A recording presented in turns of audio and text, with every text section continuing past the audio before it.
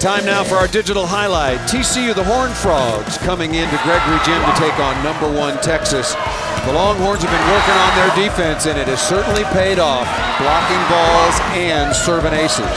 And having Butler back in the lineup full time has made such a significant difference for them. Offensively, defensively, she is doing it all at this point in the season. With Salima Rockwell, I'm Paul Sunderland. Texas won the opening set 25-19. Horned Frogs hung around, and they did so in the second set as well, but the aces started to pile up. Here's Logan Eggleston.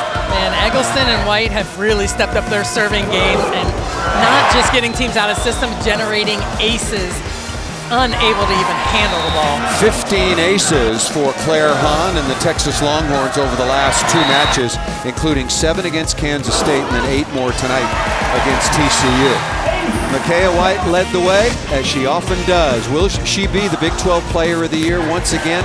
Yossiana Pressley might have something to say about that, but White had 14 kills on 29 swings and hit over 400. And she certainly played like the Big 12 Player of the Year this evening, and we'll see on Wednesday against Baylor with that matchup against Pressley. Te Texas won the second set 25-16, and then TCU hung in, but Texas prevailed 25-23.